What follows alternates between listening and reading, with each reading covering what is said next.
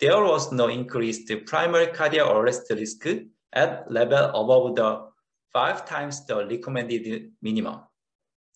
These associations were consistent regardless of age, sex, and cardiovascular disease or lifestyle factor presence.